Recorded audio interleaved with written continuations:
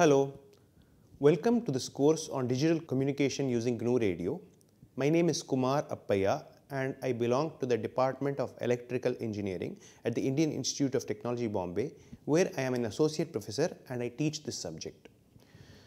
Digital communication has unleashed a revolution and in fact you would have observed over the past two decades of how media is being delivered to you. You can essentially get high quality content on your phone, on your TV and on various other platforms and you can make rich calls as well, voice calls, video calls across the continents.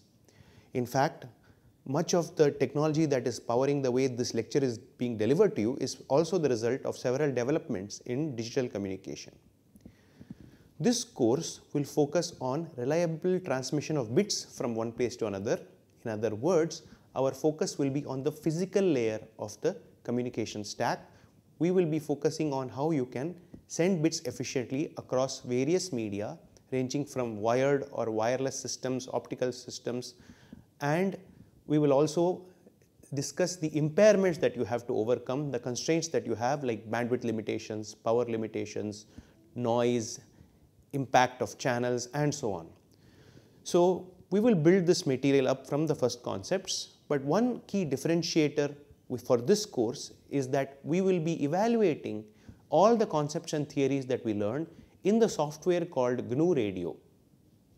GNU Radio is a free and open source software that allows you to quickly put together simulations for various communication systems. It also allows you to interface with hardware as well so that you can build prototypes of communication systems very, very efficiently. It is cross-platform and very capable and we will be looking at and extending the capabilities of GNU Radio as a part of this course as well. This course, while primarily targeted at undergraduate students of electronics and communication engineering and related subjects, is also applicable for graduate students as well. Industry personnel who are working in communication will also stand to benefit from this course. I hope that you enjoy the course. Thank you.